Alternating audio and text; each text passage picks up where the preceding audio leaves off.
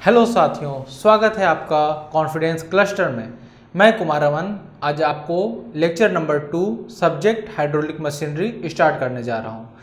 सो so, start करने से पहले हम मैं आपको बताना चाहूँगा कि इंट्रोडक्शन वीडियो में मैंने आपसे बताया था कि इस सब्जेक्ट को मेजरली तीन पार्ट में बांटा जा सकता है। Impact of jet turbine and pumps तो इम्पैक्ट ऑफ़ जेट को शुरू करने से पहले मैं आपको बताना चाहूँगा कि इस चैप्टर का मेन एम क्या है और इस चैप्टर में हम क्या पढ़ने वाले हैं। तो जैसा कि आप देख रहे हैं कि मैंने ऑलरेडी बोर्ड पे लिखा हुआ है कि इस सब्जेक्ट इस चैप्टर का एम है टू कैलकुलेट द इम्पल्स और impact force applied by the jet over the plate अब आपके मन में ये क्वेश्चन आ रहा होगा कि ये इम्पैक्ट फोर्स क्या होता है और ये जेट क्या होता है? इट इज़ वेरी सिंपल जैसा कि मैंने आपको इंट्रोडक्ट इंट्रोडक्शन वीडियो में बताया था कि हमें डैम में वाटर स्टोर करना है। एज ए सिंपल हम टर्बाइन पढ़ेंगे तो इसको आपको इलेबरेट करके बताया जाएगा। लेकिन आप जस्ट अपने माइंड में एक पिक्चर बना लीजिए कि डैम में वाटर स्टोर्ड है, उसको पाइप से हम ला रहे हैं और एक नोजल के द्वारा। जैसा कि आप फ्लूड मैकेनिक्स में आप पढ़ेंगे, आप वीडियो लेक्चर उसका देख सकते हैं ऑलरेडी है। इस टाइप का एक नोजल होता है। और जब हम बहुत बड़े पाइप से उस वाटर को लाते हैं, और जैसे ये पाइप से पानी आ रहा है, आप यहाँ देख रहे होंगे नोजल का काम होता है कि ये एरिया ए वन है, ये एरिया ए टू है। अब कॉन्टीन्यूटी इक्वेशन से हम जानते हैं कि A one V one is equal to A two V two. अब हमारा एरिया डिक्रीज हो रहा है नोजल लगाने के बाद। तो हमारी वेलोसिटी क्या होनी चाहिए? इंक्रीज होनी चाहिए।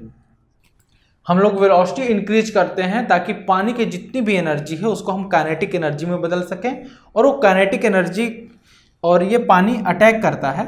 ये टरबाइन का, मान लीजिए ये टरबाइन का एक प्लेट है और इस पर ये एक फोर्स लगाता है। इसे बोलते हैं हम इम्पैक्ट फोर्स इसी को हमें कैलकुलेट करना है इस चैप्टर में। मेन कॉन्सेप्ट कॉन्सेप्ट जिस पे ये पूरा चैप्टर वर्क करेगा, वो है Newton second law it is very simple force is equal to rate of change of linear momentum तो इसी कॉन्सेप्ट पे हमारा ये चैप्टर का आगे जितना भी डिस्कशन होने वाला, इसी पे होता है. तो इसे हम सिंपली और बोल सक, बोला जा सकता है कि फोर्स ऑन प्लेट अगर मैं इसे लिखूं तो initial minus final rate of change of linear momentum यानी कि हमारे यहाँ कुछ पॉइंट होंगे point of entry point of exit ये आपको अभी मैं बताने वाला हूँ। सेक्शन वन सेक्शन टू में से दोनों को चेंज करेंगे। जितना भी rate of change of linear momentum का जो डिफरेंस आएगा, वही फोर्स इस पानी द्वारा इस प्लेट पे डाला जाएगा। तो हमारे प्यारे साथियों, जैसा कि मैंने आपको तभी थोड़ी देर पहले बताया था कि ये chapter impact of jet depend करता है एक सिंपल कॉन्सेप्ट पे जिसका नाम है न्यूटन सेकेंड लॉ अब आइए आप शुरू करते हैं इम्पैक्ट ऑफ़ जेट और ये है, एक सिंपल डायग्राम है, ये नोजेल का डायग्राम है. लेकिन इस डायग्राम को देखने से पहले मैं आपको कुछ एक प्रैक्टिकल दिखाना चाहूँगा. मैक्सिमम स्टूडेंट्स को इस डायग्राम को समझने में दिक्कत होती है। तो सिंपली आपको सोचना है कि ये एक प्लेट है, एक नॉर्मल एक प्लेट है, नॉर्मल, सिंपल प्लेट है। अब ये है प्लेट का, ये नॉर्मल, एक्चुअल में प्लेट ऐसी है। अगर इस प्लेट को आप टॉप से देखेंगे, टॉप से देखेंगे, ये प्लेट आपको ऐसे दिखाई देगी, ऐसे दिखाई देगी। ये प्लेट ऐसे, ये आपको ऐसे दिखाई देगी। लेकिन एक्चुअल में प्लेट है ऐसे। आप टॉप से देखेंगे तो ये आपको ऐसे दिखाई देगी। अब वाटर क्या कर रहा है? नोजल से निकल रहा है। ये हमारा नोजल है। यहाँ से वाटर ऐसे निकल रहा है। और ये इस प्लेट पे स्ट्राइक कर रहा है। अब देखिए, आपको अब मैं फ्रंट ये इसका कौन सा व्यू है? फ्रंट व्यू है। ये है इसका साइड व्यू अब इसको हम यहाँ टॉप से देखेंगे तो ये है इसका टॉप व्यू।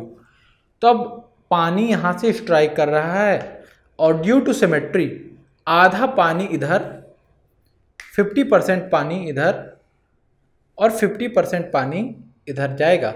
लेकिन क्या मैं इस प्लेन में इस वाटर को ड्रा कर सकता हूँ? नहीं, ये एक डॉट जैसा आएगा। ठीक? तो इसलिए ड्रॉ करने में इजी हो, इसीलिए हम इसे टॉप व्यू में बनाते हैं।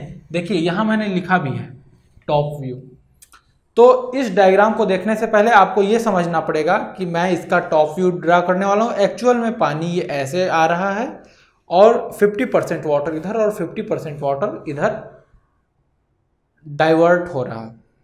और ये पानी स्ट्राइक करेगा तो प्लेट पे फोर्स देगा। तो ये है हमारी नोजल जो एरिया डिक्रीज कर रही है।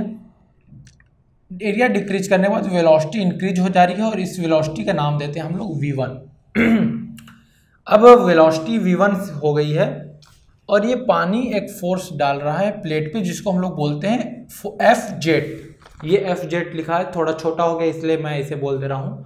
और जितना Newton third law every action have equal and opposite reaction तो फोर्स भी जेट पे प्लेट भी जेट पे फोर्स लगाएगा जिसको बोला जाता है एफ़ प्लेट तो यहाँ मैंने लिखा है कि F jet is equal to minus of F plate अब उसके नीचे वाली लाइन पढ़ने से पहले यहाँ आप ध्यान देंगे कि ये है वाटर वाटर देखिए यहाँ स्ट्राइक किया और 50 परसेंट वाटर इधर और 50 परसेंट वाटर इधर गया।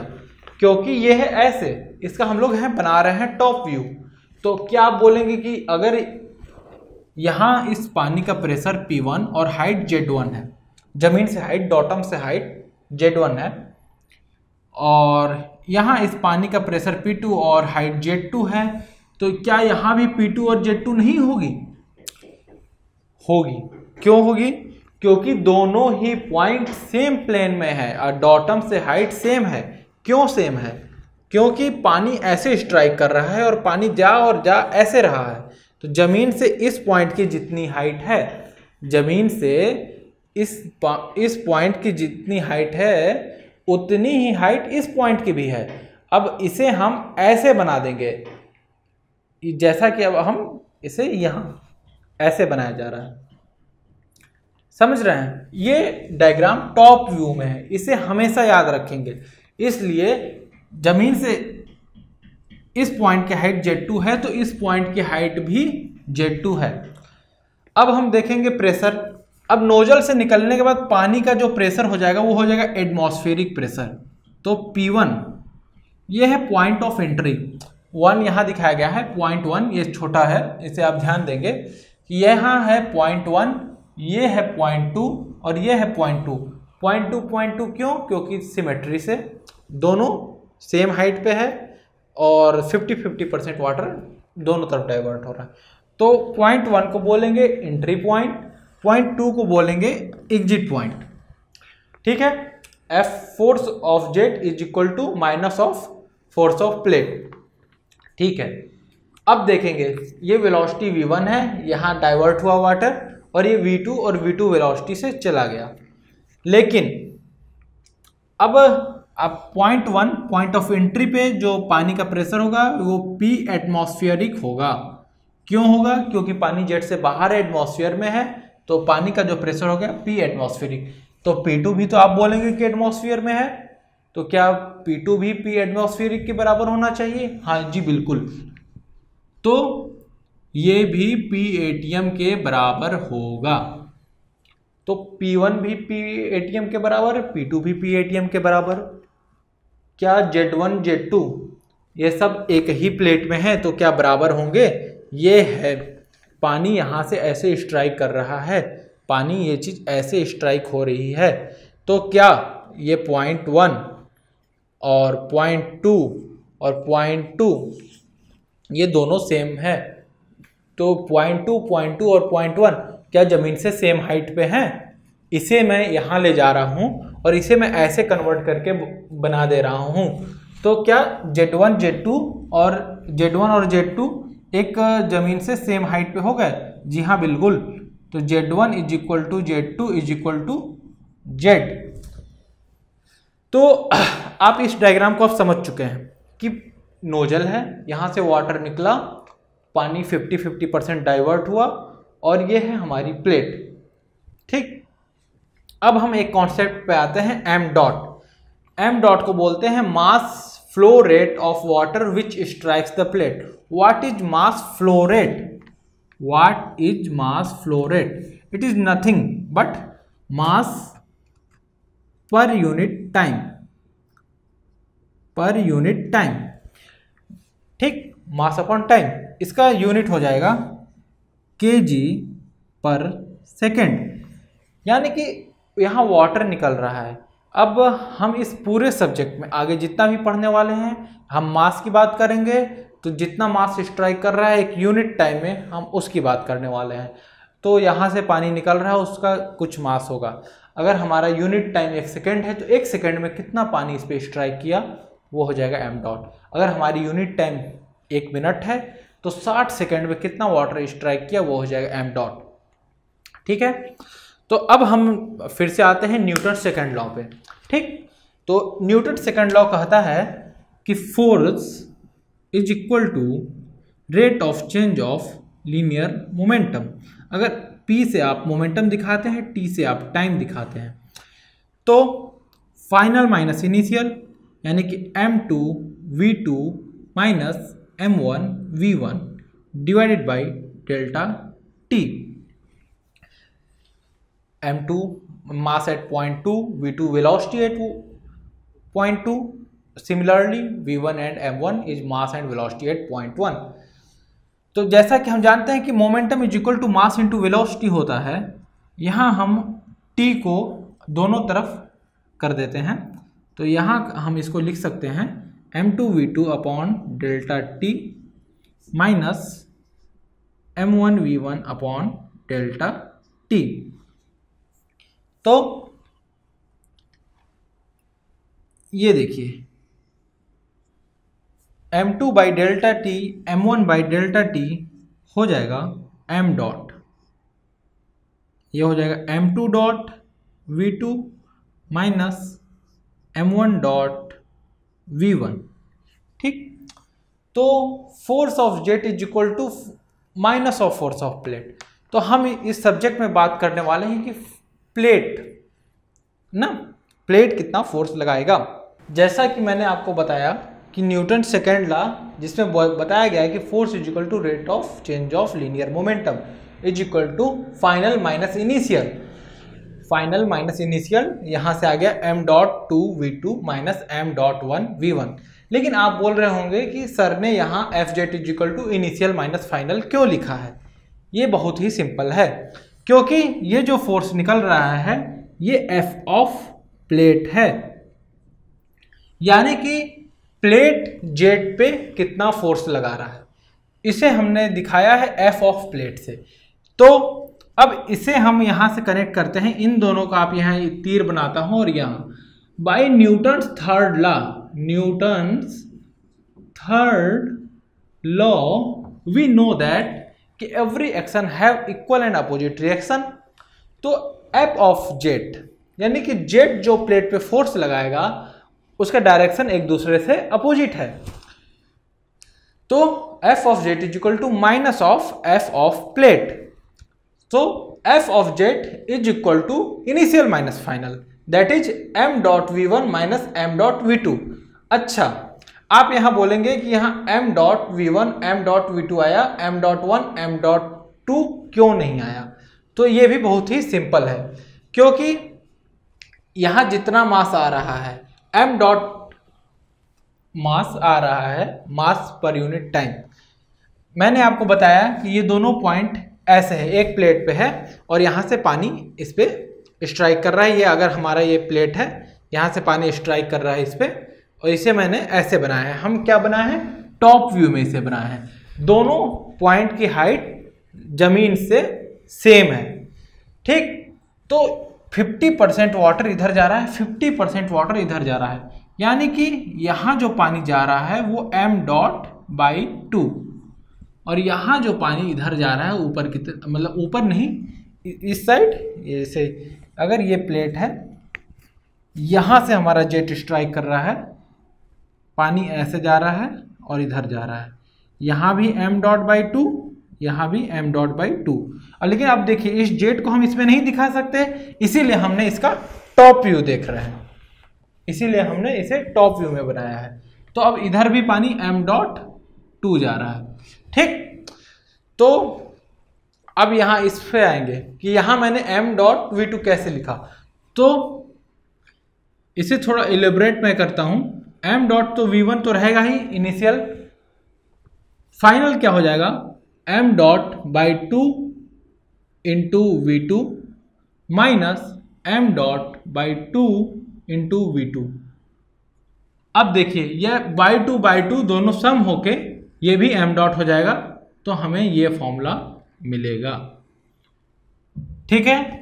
तो मेरे प्यारे दोस्तों, आपको समझ में आ गया है कि जेट जितना प्लेट फोर्स पे लगाएगा, जिसे हम एफ़ जेट बोल रहे हैं, वो हो जाएगा M dot V one minus M dot V two ये बहुत ही बेसिक फॉर्मूला है। इसे हम आगे वाले, आने वाले हर क्लास में इसे यूज़ करने वाले हैं।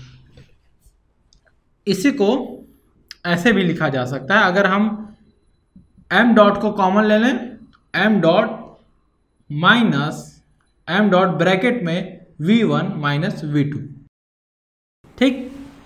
इस फॉर्मूले की बात किया जा रहा है। F jet is equal to M dot bracket में V one minus V two आइए हम शुरू करते हैं इस प्यारे से चैप्टर जिसका नाम है इम्पैक्ट ऑफ़ जेट का केस वन ये एक इंपॉर्टेंट टॉपिक रहेगा।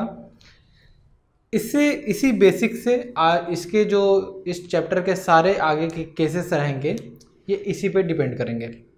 तो ये जो आप डायग्राम देख रहे हैं इसमें मैंने आपको अभी थोड़ी देर पहले भी बताया था, ये जो डायग्राम बना है, ये नोजल का है। तो ये नोजल को आगे से हम इसको ऐसे दिखाएँगे। तो इसे आप याद रखिएगा, यदि मैं नोजल को ऐसे बना देता हूँ तो आप कंफ्यूज नहीं करेंगे। इस सारे, इतने बड़े से नोजल को मैं आगे हर डायग्राम में इस लाइन डायग्राम से दिखाने वाला हूँ। पानी को भी लाइन डायग्राम से दिखाया जाएगा, लेकिन आपको ये अभी बेसिक्स है। आपको अच्छे से समझ में आए, इसलिए ये इलोबरेट डायग्राम बनाया जा रहा है।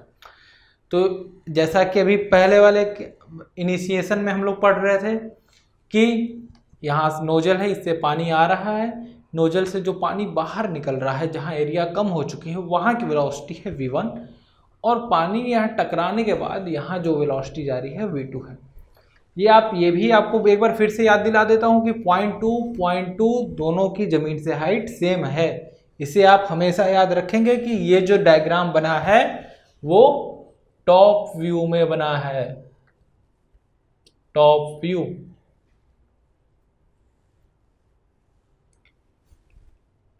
ये है पॉइंट ऑफ़ एंट्री और ये है दोनों पॉइंट ऑफ़ एग्जिट यहाँ से मास आया और 50 परसेंट फिफ्टी परसेंट मास दोनों डायरेक्शन में डिवाइड हो गया। M dot mass flow rate, mass per unit time. ठीक है? पॉइंट वन पे प्रेशर पी वन और हाइट जेड वन है। पॉइंट टू पे प्रेशर पी टू और डाटम से हाइट जेड टू है। But Z one is equal to Z two is equal to Z. कैसे? मैंने आपको अभी समझाया। क्योंकि ज़मीन से दोनों पॉइंट की हाइट सेम है। P1 is equal to P two is equal to P atmospheric दोनों पॉइंट पे ही एंट्री और एग्जिट पे ही जो प्रेशर रहेगा वो क्यों, वो एटमॉस्फेरिक प्रेशर होगा। क्यों होगा? क्योंकि नोजल यहाँ ख़त्म हो गया है, पानी बाहर निकल गया है नोजल के और पानी एटमॉस्फेयर में है तो उस पर प्रेशर एटमॉस्फेरिक प्रेशर ही होगा। और क्या होगा? चलिए तो जेट जो फोर्स लगा रहा है प्लेट पे, वो है एफ़ जेट प्लेट जो जेट पे फोर्स लगा रहा है, वो है एफ़ प्लेट अभी आपको थोड़ी देर पहले मैंने बताया था F jet is equal to M dot bracket में V one minus V two ठीक है? अब हमारा केस वन है jet strikes stationary flat plate in the normal direction इससे पहले वाले डायग्राम में मैंने आपको दिखाया था कि ये प्लेट है। चलिए हम इसे अब स्टेशनरी बना देते हैं। तो स्टेशनरी बनाने के लिए यानी कि ये है, रुकी हुई, इसे कर दीजिए फिक्स्ड अब ये प्लेट कहीं हिल डुल नहीं सकती। चलिए, अब प्लेट हिल डुल नहीं सकती, इसको हमने यहाँ पकड़ लिया है। तो अब ये शुरू करते हैं। फिर अब हमें क्या निकालना है कि जेट इस फ्लैट प्लेट पे कितना फोर्स लगाएगा? इससे पहले हम इस कोऑर्डिनेट फिक्स कर दिया जाए।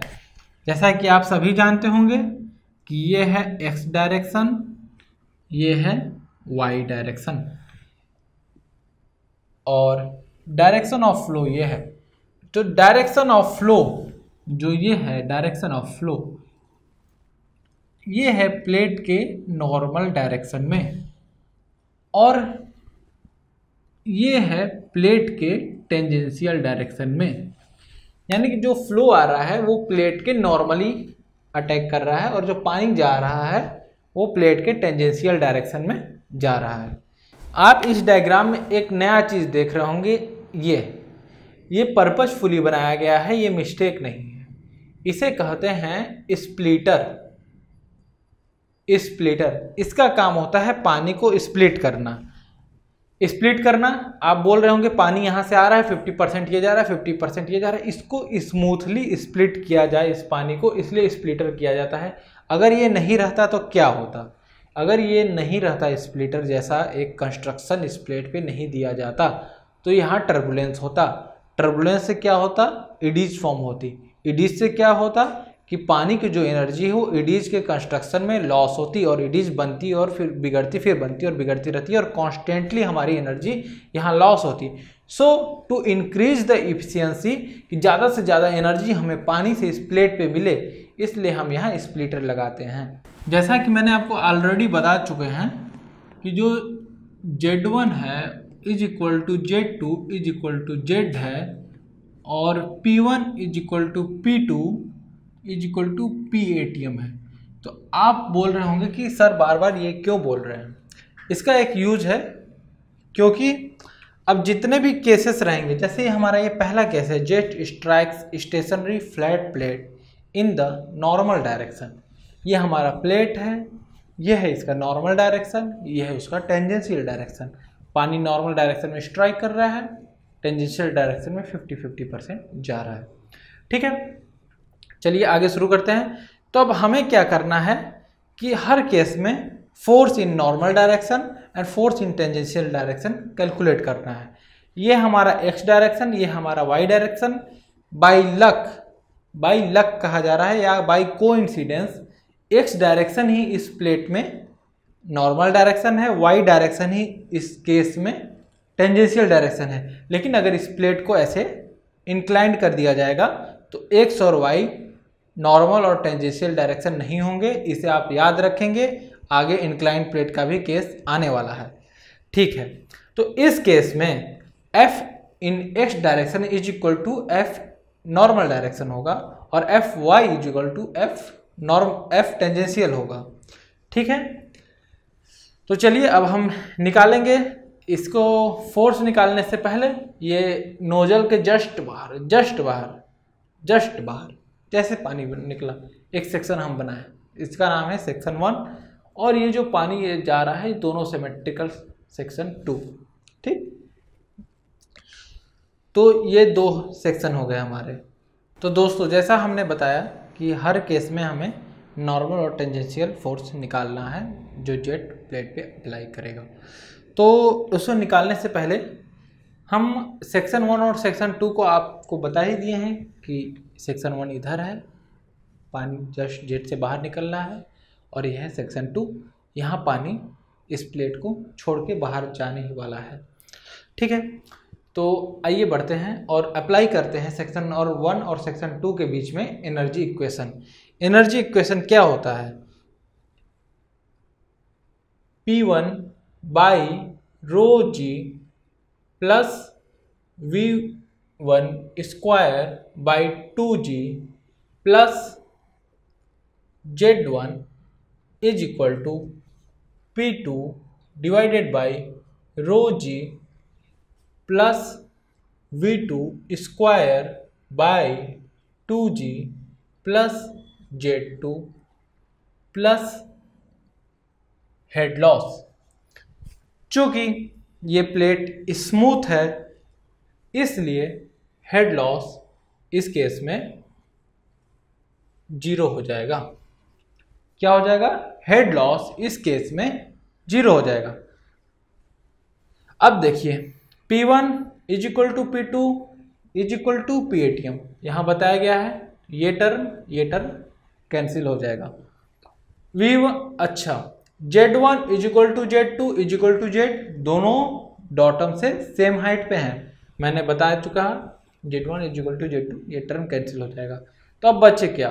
V one square by two G equal to V two square by two G कहने का मतलब है, इसे आप सॉल्व करेंगे तो V one equal to V two आ जाएगा।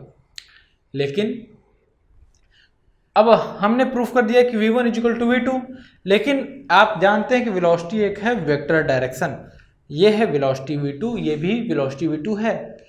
In the sense of magnitude but direction opposite है तो एक अगर वी टू है तो दूसरी उसकी नेगेटिव होनी चाहिए। तो अगर ये वी टू है, इसे हम लिखेंगे क्या? माइनस वी टू क्यों? क्योंकि इसका डायरेक्शन अपोजिट है। तो वी वन वेलोसिटी से आया वी टू वेलोसिटी से गया, और ये हो जाएगी V one is equal to V two हम प्रूफ कर चुके हैं। तो V two is equal to V one और minus V two is equal to minus V one as simple as that अब चलिए इसे आगे बढ़ते हैं। अब अब हमें निकालना है force in normal direction and force in tangential direction mass flow rate क्या होता है? Mass divided by time mass को हम लोग यहाँ क्या लिख सकते हैं? मास को हम लिख सकते हैं डेंसिटी इंटू वॉल्यूम डेंसिटी को मैंने रिप्रेजेंट किया है रो से। तो rho into volume divided by time अब वॉल्यूम को आप क्या लिख सकते हैं? जैसे अगर नोजल से पर यूनिट टाइम में मान लीजिए, ये नोजल से वाटर है, वो सिलेंड्रिकल फॉर्म में निकल रहा है और इसका लेंथ एल है और इसका एरिया जो होगा, नोजल का एरिया जो कि होगा pi by four D two का स्क्वायर डी हो जाएगा डाया ऑफ़ नोजल। तो area into length is equal to volume लिख सकते हैं? बिल्कुल लिख सकते हैं। अब आप क्या करिए कि लेंथ अपॉन टाइम करिए। लेंथ अपॉन टाइम हाँ वेलोसिटी इसे आप वेलोसिटी कहेंगे, ज़रूर। अब देखिए तो मास फ्लो रेट को आप लिख सकते हैं density into area into velocity अब ये हमारा, जो ये है फॉर्मूला ये मैंने डायरेक्टली आगे के लेक्चर में यूज़ करूँगा। इसे आप याद रखेंगे कि mass flow rate is equal to density into area into velocity ठीक? आप इस डायग्राम में देख रहे होंगे कि यहाँ वी वन वेलोसिटी आई है, जो कि इस प्लेट के नॉर्मल डायरेक्शन में है। लेकिन जब पॉइंट टू पे ये वेलोसिटी जा रही है तो ये कम्प्लीटली टेंजेंशियल डायरेक्शन में है। यहाँ अगर आप ध्यान देंगे तो आप ये पाएँगे कि पॉइंट टू पे अगर हम नॉर्मल डायरेक्शन पे वेलोसिटी देखते हैं v2 इन नॉर्मल डायरेक्शन तो ये है ज़ीरो सिमिलरली इधर पॉइंट टू पे भी नॉर्मल डायरेक्शन पे जो वेलोसिटी है v2 इन नॉर्मल डायरेक्शन ये है ज़ीरो जो भी है वेलोसिटी वो टेंजेंशियल डायरेक्शन में है minus V two equal to minus V one V two equal to V one हमने प्रूफ किया हुआ है। थोड़ी देर पहले मैंने आपको बताया था कि M dot equal to rho A V one होता है। अब हम फोर्स निकालेंगे। In the normal direction of plate. बहुत ही सिंपल है। क्या करना है आपको? सेक्शन वन से सेक्शन टू के बीच में rate of change of linear momentum निकालना है। Rate of change of linear momentum को मैंने प्रूफ किया था कि वो होता है एम डॉट वी के बराबर। एम डॉट को आप क्या लिखेंगे? रो ए वी वन इससे पहले सेक्शन वन पे आते हैं। एम डॉट मास का पानी आया वेलोसिटी वी वन से आया। हमने क्या लिखा यहाँ? M dot V one minus initial minus final आपको एफ़ ऑफ़ जेट थोड़ी देर पहले आपको बताया था।